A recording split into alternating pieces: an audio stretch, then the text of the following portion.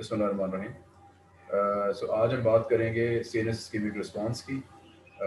C N S ischemic response जैसे आप लोग जानते हैं uh, एक एक्यूट ब्लड प्रेशर रेगुलेशन का मेकनिज़म है. और हमने इससे पहले पैरोरिसेप्टर रिफ्लेक्स पढ़ा था। ठीक है बेटे सर। ओके गुड आप माशाल्लाह काफ़ी मेहनत कर रहे हो सर गुड सो so, हमने पहले हमने वो लिस्ट देखी थी मैं लिस्ट ज़रा आपके सामने दोहरा देता हूँ। हमने ये लिस्ट देखी थी कि जनाब बैरोसेप्टर रिफ्लेक्स ये एक तो एक्यूट मैकेनिज्म्स होते हैं जो सेकंड्स से मिनट्स में काम आते हैं और कुछ एक दो दिन लगे रहते हैं ठीक है?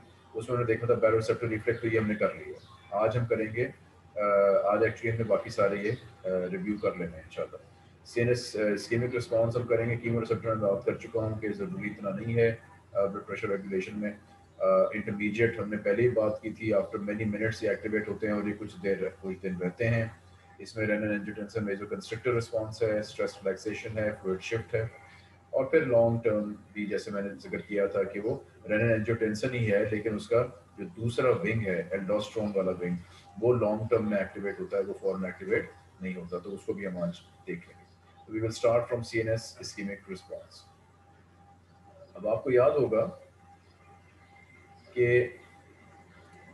मैंने आपसे ज़िक्र किया था कि बैरोरिसेप्टर रिफ्लेक्स ऑपरेटिव होता है between hundred to one eighty के दरमियान, ठीक है?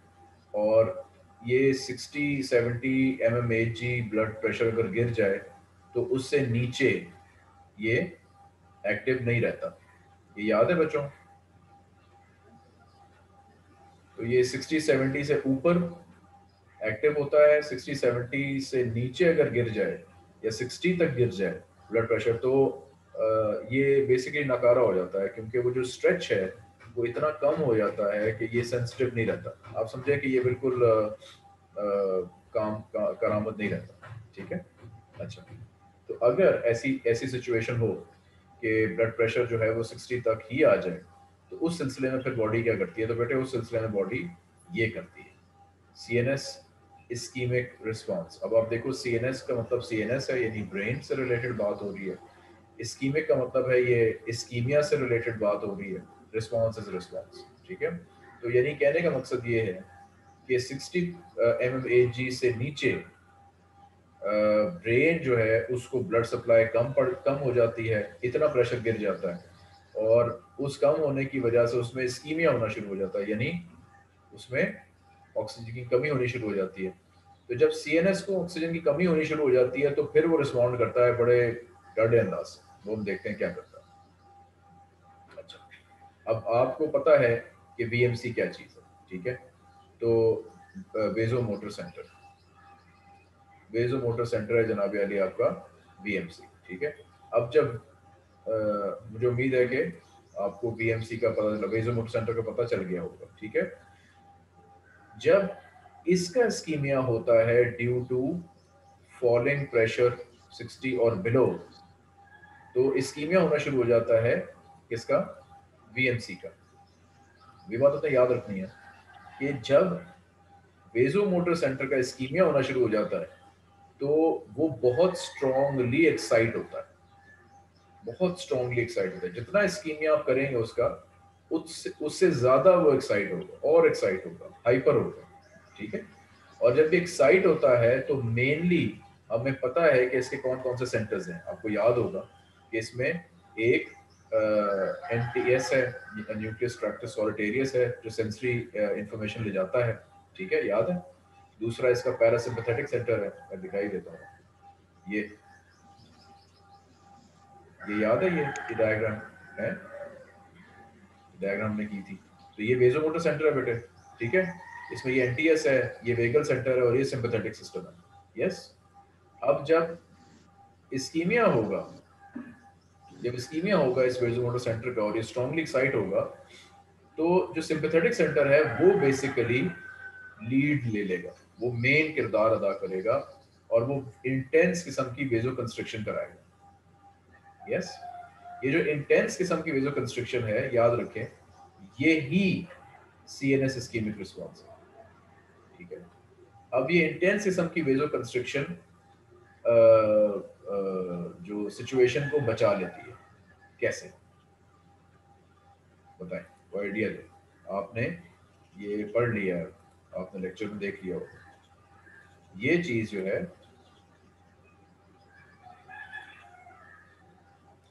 ये जो इंटेंस फ़ेज़ कंस्ट्रक्शन है, ये जान बचा लेती है इवन जब ब्लड प्रेशर साठ से नीचे चला जाता है। कैसे? एनी आइडियाज़ मैं डिटेल से डिस्कस किया है लेक्चर में?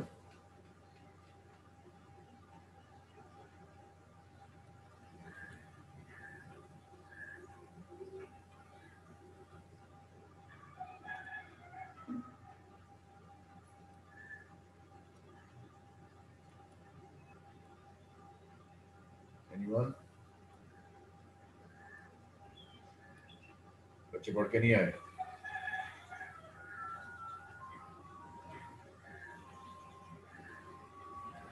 हाँ जी, हो या सारे भागे हो? 58 शो हो रहे हैं बच्चे लेक्चर में। मुबशरा को आवाज़ नहीं आ रही, बाकियों को आवाज़ तो आ रही है, जवाब नहीं आ रहा मेरे ख्याल है? सवाल मैं दोहरा रहा हूँ। इंटेंस ऑफ़ कंस्ट्रक्शन की वजह से इवन दो 60 से नीचे चला गया ब्लड प्रेशर जान बच जाती है। बचत हो जाती है। कैसे?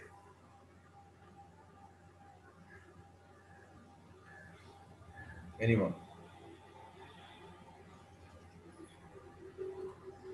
चलो, कोई नहीं। इस तरह से होता है बेटे कि जब वेजो कंस्ट्रक्शन इंटेंसिव हो जाती है इंटेंस वेजो कंस्ट्रक्शन हो जाती है तो बॉडी के जो भी दूसरे टिश्यूज हैं ना, जो नॉन क्रिटिकल है स्केलेटल मसल है एडिपोस टिश्यू है जीआईटी है, ये वो सारी चीज़ें यहाँ पे जो फीडिंग आर्टरीज है, उनको कंस्ट्रक्ट कर दिया जाता है शदीद तरीके से स्किन है। और ब्लड को डाइवर्ट किया जाता है, यानी अगर वहाँ पे आपने इंटेंस वेजो कंस्ट्रक्शन कर दिया तो रेजिस्टेंस बढ़ गई है वहाँ की, सही है ना? अगर वेजो कंस्ट्रक्शन शदीद किस्म की हो गई है इंटेंसिव हो गई है तो उसकी जो पेरिफेरल रेजिस्टेंस है, वो बढ़ जाएगी उस जगह की। यानी वहाँ पे ब्लड नहीं जाने देना, क्योंकि वहाँ पे सुकेड़ दी हैं आर्टीरियल्स यस यहाँ तक ठीक है। मुझे चैट में फीडबैक दो, ताकि समझ आए कि तुम लोगों को समझ आ रही है नहीं।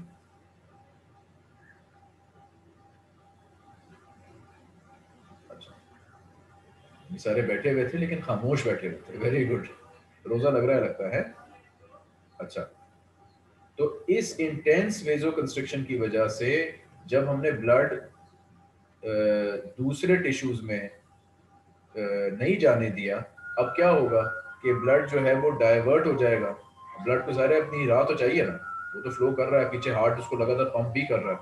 तो वो जब उसको राह चाहिए और राह उसको नहीं मिल रहा तो अब वो किधर जाएगा? अब वो जाएगा उस जगह जहाँ आपने बेजो कंस्ट्रक्शन नहीं की ठीक है? तो आप जो वाइटल ऑर्गन है बेटे, याद रखना ब्रेन हार्ट और किडनी इस जगह आप वेजो कंस्ट्रक्शन नहीं करते और आप इधर ब्लड को, बल्कि किडनी में भी आप कर देते हैं हार्ट और अपना ब्रेन की आप नहीं करते वेजो कंस्ट्रक्शन वहाँ पे आप वहाँ ब्लड जो है वो डाइवर्ट होना शुरू है यहाँ बच्चे जो अच्छे बच्चे हैं, पढ़ने वाले हैं, जो पढ़ते रहते हैं, उनको याद होगा और ये बात बड़ी, ये बात मैंने वहाँ, मेरा ख्याल है लेक्चर में नहीं की, ये बात मेरे जहन में अभी आई। सवाल बनता नहीं है कि जी, जहाँ जब इतनी वेजो कंस्ट्रक्शन हो रही है तो हार्ट और ब्रेन में क्यों नहीं होती वेजो कंस्ट्रक्शन सवाल तो बनता है। चलो इससे एग्री तो कर लो ना कि सवाल बनता है। अगर आप समझ गए हो, सवाल तो just say yes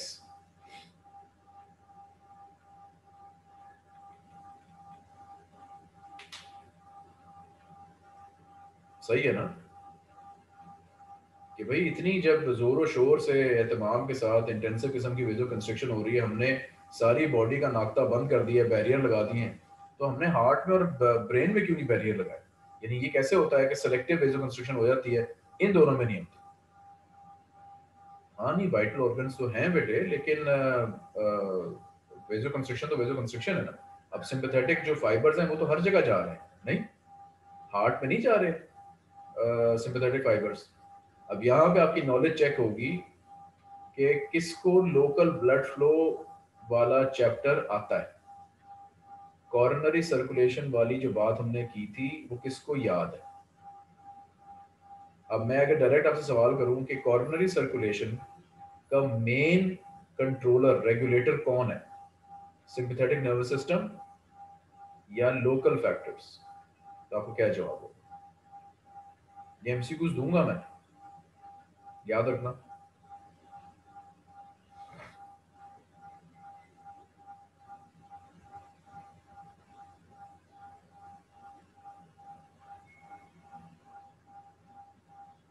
local blood flow शाबाश हुआ शाबाश Marusha very very good local सहर गुड तो अब आप खुद ही जवाब दे रहे हैं कि लोकल ब्लड फ्लो यानी local factors coronary blood flow के मेन रेगुलेटर्स हैं राइट तो जब उसकी पंपिंग बढ़ेगी तो वो लोकल फैक्टर्स जो है वो मैनेज कर लेंगे कॉर्नरी सर्कुलेशन को इनहेंस कर लेंगे उसको, ठीक है? सिंपैथेटिक्स का इतना काम वहाँ पे नहीं है। अब जवाब समझ में आ रहा है कि इंटेंस ये जो हमने वेजो कंस्ट्रक्शन करा दी हुई है due to ischemia of the VMC वगैरह वगैरह, इसका हार्ट पे असर ही नहीं होगा, क्योंकि वो तो लोकल ब्लड फैक्टर्स के अंडर काम कर रहा है। Same goes for brain brain में भी ज़्यादातर जो है वो लोकल फैक्टर्स होते हैं। ठीक है? सिंपथेटिक नर्वस सिस्टम वहाँ भी ज़्यादा काम नहीं करता।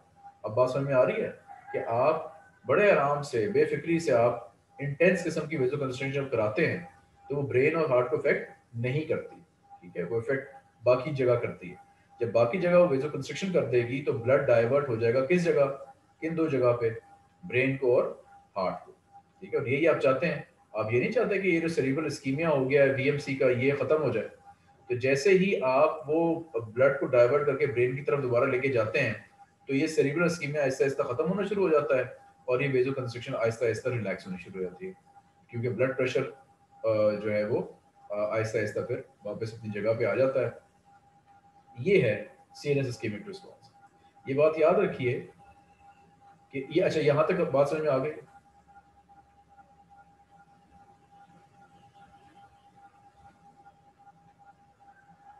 फिर सवाल कर लिया करो, और जहाँ सवाल होना सवाल कर लिया करो। ठीक है ना?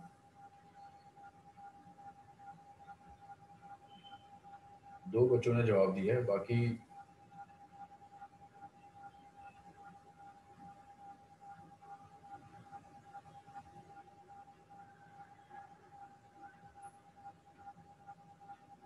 अच्छा। चलो। सो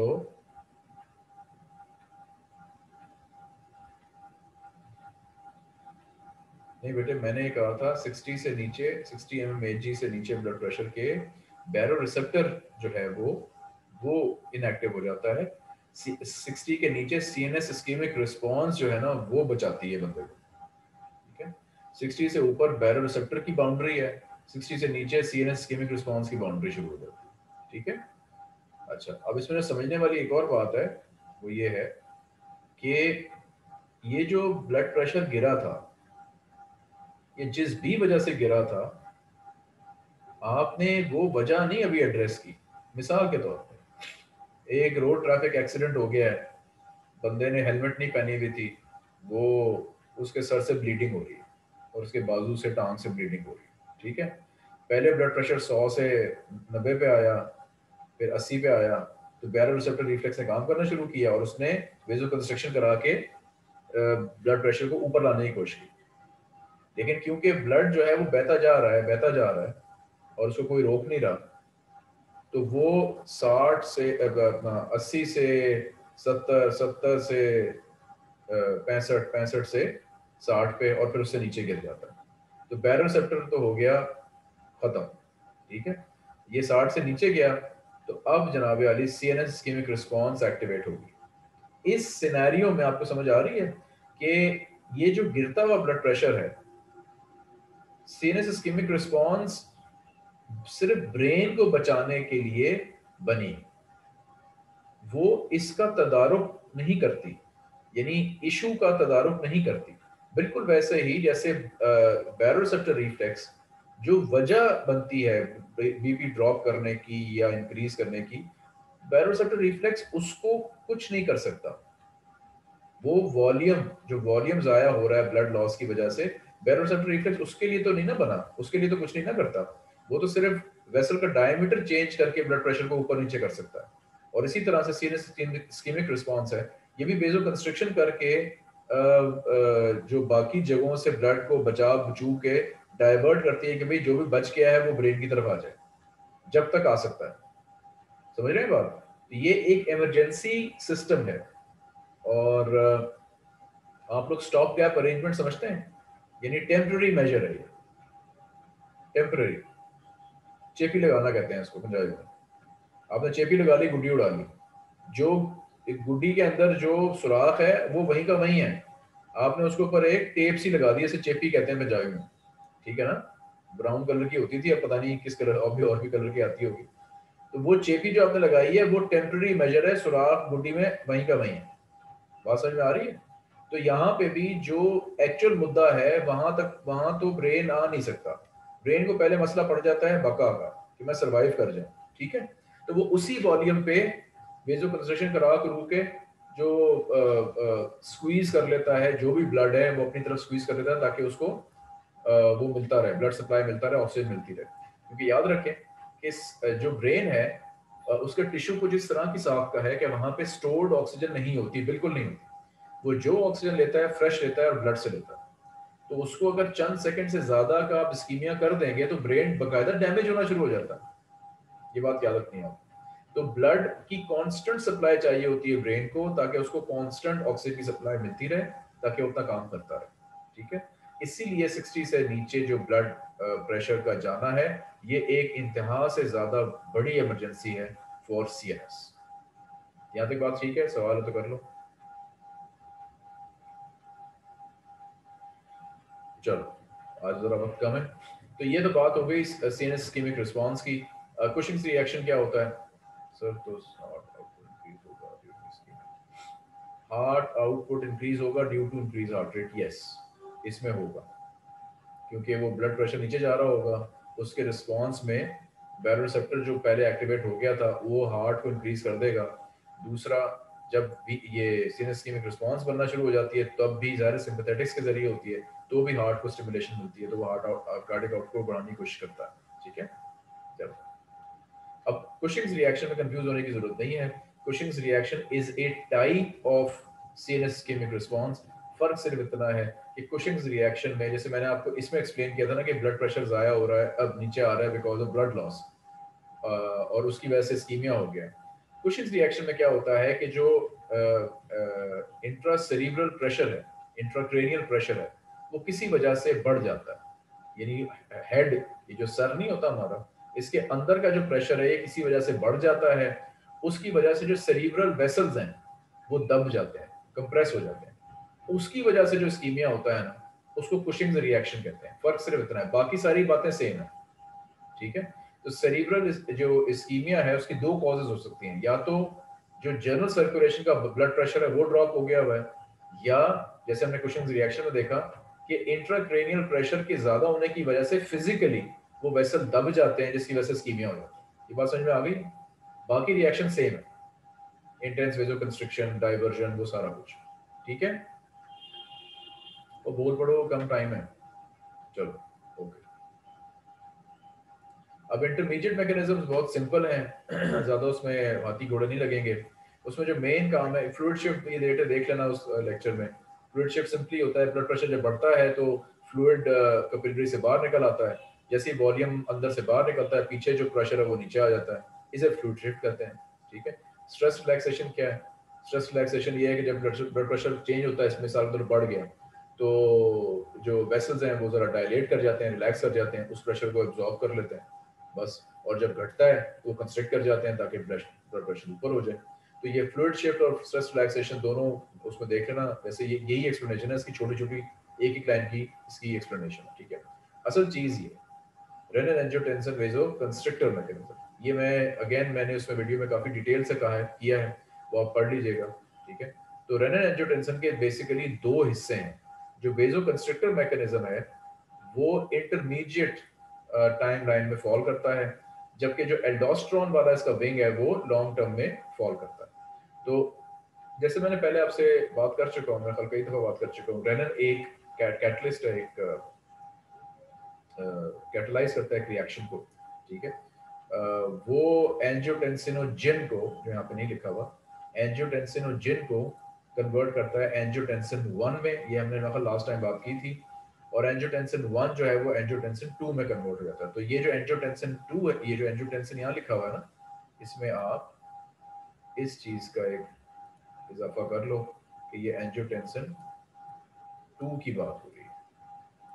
ठीक है? अच्छा ठीक है तेरी। ओके थैंक यू तो renin angiotensin two vasoconstrictive mechanism का मतलब ये है कि जैसे ही रेनन एंजियोटेंसिनोजिन पे काम करके इवेंचुअली एंजियोटेंसिन टू बनाना शुरू कर देता है तो एंजियोटेंसिन टू बेसिकली एक बहुत स्ट्रॉन्ग वेजोकंस्ट्रक्टर सब्सटेंस है। वो क्या करता है? ऑब्वियसली बात है, वो वेजोकंस्ट्रक्शन करना शुरू कर देता है। तो अगर आपका ब्लड प्रेशर नीचे जा रहा है तो इंटरमीडिएट मैकेनिज्म्स यानी फ्लूइड शिफ्ट स्ट्रेस रिलैक्सेशन और renin angiotensin two vasoconstrictor mechanism ये कोशिश करते हैं कि ब्लड प्रेशर को ऊपर लेके आया जाए ठीक है? तो इस सिनेरियो में वेजो कंस्ट्रक्शन जब अब आपको काफ़ी अच्छी तरह समझ में आ जा आ गई है कि वेजो कंस्ट्रक्शन जो है वो ब्लड प्रेशर को टेम्पररी ऊपर लाने का एक बहुत बड़ा टूल है ठीक है? इसी तरह से आ, अगर ये बात समझ में आ गई हो तो कुछ और भी वेजो कंस्ट्रक्टर्स और डायलेटर्स होते हैं जो बॉडी में रिलीज़ हो सकते हैं। वेजो कंस्ट्रिक्टर्स में आता है एपिनेफ्रिन अगर वो इस वाले पे एक्ट करें। याद होगा आपको कॉर्नरी सर्कुलेशन हमने बात की थी ठीक है कि अल्फ़ा वन पे जब आ, वो रखती है सिंपैथेटिक स्टिमुलेशन होती है तो वेजो कंस्ट्रिक्शन होती है ठीक है? यही बात की थी ना हमने। तो एपिनेफ्रिन भी सिंपैथेटिक नर्वस सिस्टम की तरह का एक सब्सटेंस है। फ़र्क सिर्फ़ ये है कि sympathetic stimulation sympathetic nervous system nervous system का हिस्सा है और एपिनेफ्रिन एक न्यूरो है जो रिलीज़ होता है एड्रीनल ग्लैंड से, फ़र्क सिर्फ़ इतना, ठीक है? काम इसका वही है ये वेजो कंस्ट्रक्शन करता है थ्रू अल्फ़ा वन और वेजो डायलेशन करता है through alpha two through beta two ठीक है? तो बीटा रिसेप्टर ठीक हो गया? ये बस याद करने वाली चीज़ें हैं और सेरोटोनिन भी एक चीज़ है सेरोटोनिन भी एक सब्सटेंस है न्यूरोट्रांसमीटर है, ये वेजो कंस्ट्रक्ट करता है। हिस्टामिन का तो आपने नाम सुना ही होगा, ये वेजो डायलेट करती है, ठीक है? चलो। अब आ जाते हैं लॉन्ग टर्म पे। लॉन्ग टर्म में एक ही चीता है। ये प्रेशर डायग्नोसिस और नेट्री यूरेसिस ये देख लेना। इसका सिर्फ़ मतलब ये है कि जब प्रेशर बढ़ता है तो नेट्री यूरेसिस का मतलब नेट्री यानी नेट्रियम नेट्रियम सोडियम को कहते हैं। तो ये है कि किडनी जो है ना वो बाहर फेंकना शुरू कर देती है सॉल्ट को। और डायरेसिस का मतलब है पानी को भी बाहर फेंकना शुरू कर देती है। सो so, जब ब्लड प्रेशर लॉन्ग टर्म में बढ़ जाए वो किसी की काबू ना आए और अब वो बढ़ा हुआ ही है तो अब बैठ के किडनी उसको हथौड़ी चीनी लेके उसको अच्छी तरह सॉर्ट आउट करती है। पहले वो सॉल्ट और वाटर को निकालना शुरू करती है और फिर जो एक चीज़ स्टार्ट की गई थी इंटरमीडिएट मैकेनिज्म्स के दौरान उसका जो लॉन्ग टर्म विंग है उसको आ, उस पे किडनी बेसिकली इन्वॉल्व हो जाती है। एल्डोस्ट्रॉन ठीक है? ये बात हमने अब करनी है ठीक है? अच्छा जी। अब ये ज़रा देख लो। एक सेकंड नज़र आ रहा है सही बेटे ये? ठीक है। अब आपने बहुत ज़्यादा इसमें तकल्लुफ़ात में नहीं जाना। आपने आ, अच्छी बात है अगर आप इस सारे को ज़रा अच्छी तरह एक दफ़ा ज़रा रीडिंग कर लो इसकी इसको याद करने की कोशिश कर लो बहुत अच्छा हो जाएगा। इस ये इसने सारा बताया। इसने पूरा एक्सप्लेन किया। Renin angiotensin two aldosterone system इसमें वो अपना वेजो कंस्ट्रक्टर वाला एलिमेंट भी आ गया, उसमें सारा बेसिकली रिवाइज हो जाएगा। जो भी एरेनल एंजियोटेंसिन से रिलेटेड बात है ना, वो सारी इस एक फ्लो चार्ट में रिवाइज हो जाती है, ठीक है? हाउएवर मेरा जो फोकस है, वो ये इतना हिस्सा। ये हिस्सा और ये हिस्सा, ठीक है?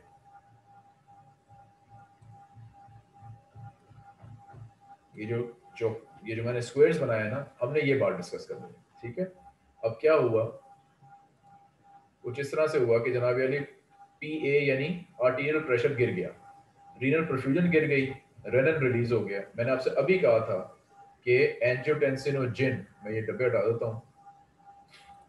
एंजियोटेंसिनोजिन रेनन का सबस्ट्रेट है, ठीक है? रेनन जैसे रिलीज़ होना शुरू हुआ। अब ये आप नोट करना कि गिरते हुए ब्लड प्रेशर में रीनल परफ्यूजन प्रेशर ड्रॉप करता है। यानी किडनी को ये बात पसंद नहीं आई कि उसका जो परफ्यूजन प्रेशर है, उसको जो प्रेशर आ रहा है, वो कम हो गया ब्लड फ्लो कम हो गया। ये किडनी को बात पसंद नहीं आई। ठीक है? किडनी ने कहा कि ठहरो, मैं इसको सॉर्ट आउट करता हूँ। तो वो उसने रेनन रिलीज़ करना शुरू कर दिया। जो हल्का फुल्का रेनन रिलीज़ होता रहता है, लेकिन अब उसने रेनन ज़्यादा रिलीज़ करना शुरू कर दिया। ठीक है? रेनन ने क्या किया कि ब्लड में जो एंजियोटेंसिन जिन वेला फिर रहा था, जो उसका सबस्ट्रेट है, और जो इनएक्टिव फॉर्म होती है, उसको पकड़ के तोड़ा और एंजियोटेंसिन वन बनाती है। एंजियोटेंसिन वन कोई कोई खास शय नहीं है। ये इंटरमीडिएट एक प्रोडक्ट है, ठीक है? हाँ ये ज़रूर होता है कि जब एंजियोटेंसिन वन ब्लड में होता हुआ था, सैर करता हुआ लंग से गुजरता है लंग्स में से तो वहाँ पे एक एंजाइम बैठा हुआ होता है, जिसे कहते हैं एंजियोटेंसिन कन्वर्टिंग एंजाइम ये एंजियोटेंसिन वन को पकड़ के एंजियोटेंसिन टू में कन्वर्ट कर देता है, जो मैंने अभी लास्ट में आपसे बात की। एंजियोटेंसिन टू अब हीरो है वो उसके अब अब ये देख सकते हैं आपके ढेर सारे उसके काम है। ए, एक दो तीन चार वेजो कंस्ट्रक्शन वाली बात आपने देख ली है कि वो कैसे वेजो कंस्ट्रक्शन करा के ब्लड प्रेशर को दोबारा वापस ऊपर लाता है। हाउएवर जो उसका लॉन्ग टर्म काम है वो काफ़ी इंपॉर्टेंट है। और ये है वो लॉन्ग टर्म काम ये कि ये एंजियोटेंसिन 2 होता है बेटे जो एल्डोस्टेरोन को रिलीज़ कराता है एड्रीनल ग्लैंड से। ठीक है? वंस एल्डोस्टेरोन रिलीज़ हो गया तो फिर एल्डोस्टेरोन एक सेकंड मैं कलर देख लूँ। एल्डोस्टेरोन फिर ये वाले काम कराता है। ये बड़ा ज़रूरी है। क्या? सोडियम इसमें वाटर भी ऐड कर लो। सोडियम और उसकी सोडियम की वजह से water sodium and water reabsorption कराएगा कहाँ से? किडनी से। किडनी के, जो डिस्टल टिब्यूल है। ये कहाँ से आता है? किडनी का डिस्टल टिब्यूल ठीक है?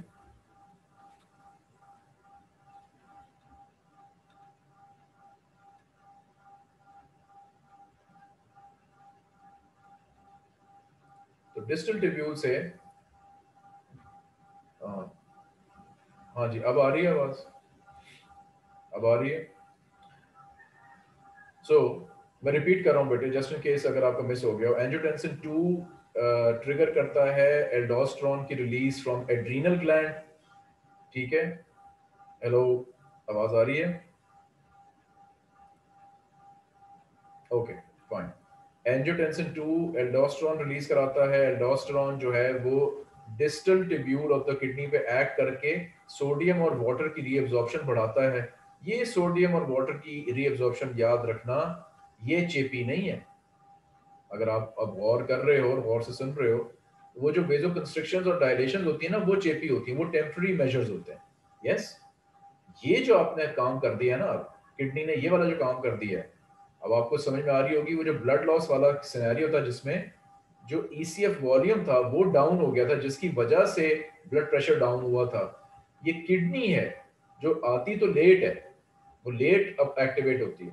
लेकिन वो करती पक्का वाला काम, वो वो एडहॉक काम नहीं करती टेम्पररी काम नहीं करती। वो सोडियम और वाटर को बकायदा रीअब्सॉर्ब करवा के, बाकायदा ईसीएफ वॉल्यूम के, की कमी को एड्रेस करती है, उसको बढ़ाती है।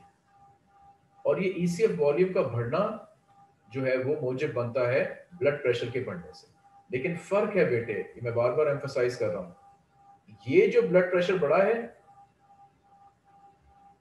और ये जो ब्लड प्रेशर बढ़ा है ये जो ब्लड प्रेशर बढ़ा, इसमें फ़र्क है। समझ में आ रही बात? ये बड़ बारीक बात करके मैं बात खत्म करूँगा। ये जो ब्लड प्रेशर बढ़ा है, ये टेम्पररी मेजर है। ये सिंपैथेटिक्स के साथ कॉन्ट्रैक्शन करने के साथ, कुछ टीपीआर इंक्रीज करने के साथ, आपने आपने बेसिकली ये खेल खेला है डायमीटर ऑफ़ द वेसल के साथ।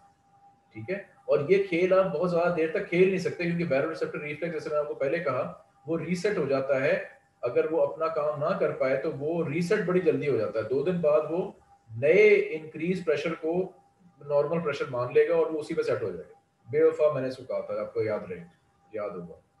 तो ये वाला जो इंक्रीज इन प्रेशर है और ये जो इंक्रीज इन प्रेशर है, इसमें बेटे ज़मीन और आसमान का फ़र्क है। ये जेनवन काम है। ये लॉन्ग टर्म काम है। क्यों? क्योंकि ये जो काम है, ये ईसीएफ e वॉल्यूम को बढ़ा के किया गया ठीक है? तो ये परमानेंट है और लॉन्ग टर्म है ये कह लें आप, ये सस्टेनेबल है, ये वहीं का वहीं रहता है, और टेम्प्ररी नहीं ठीक है? कोई सवाल है? हाँ जी। याद रखें, किडनी जो है वो ईसीएफ e वॉल्यूम भी ईसीएफ e की पीएच भी इन तमाम मामला को देख, देखती रहती है। वो आती लेट है, वो एक्टिवेट लेट होती है, लेकिन वो हर चीज़ को अपने नॉर्मल पॉइंट पे ले जा के दम लेती है। पक्का वाला काम करती है टेम्प्ररी काम नहीं करती। ठीक है? Any questions